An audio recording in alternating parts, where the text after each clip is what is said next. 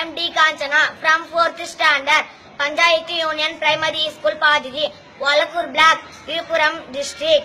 இப்ப நம்ம வட்ட இயக்கத்தை பத்தி பார்க்க போகிறோம். இது ஒரு ஒரு பிளேட் இருக்கு.